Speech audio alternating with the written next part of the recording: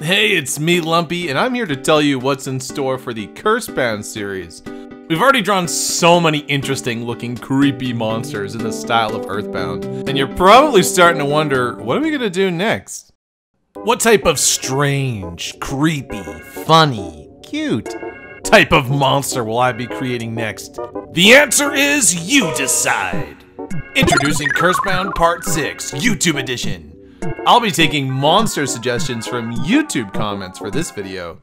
Do you want to take part? Leave a comment below. Include your monster's name, bonus points for cleverness, and also give me a description of your monster, like what your monster looks like, maybe where it's from. Give me a little backstory so that when I get around to drawing it, I have some inspiration. Eight monsters from the comments will be selected by a panel of judges to be drawn into Cursebound Part 6. And guess what? Part 7's happening too, and this is going to be Patreon suggestions. So if you're one of the lumpy Patreon pals, get on there, leave a monster description, and we'll be randomly selecting eight of those monsters to appear in Cursebound Part 7. Can you believe we're almost at 100k subscribers?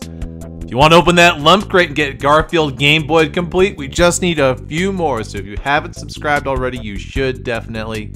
And yeah, recommend my videos to your friends. Let's get there. Catch you next time. Later, lumps.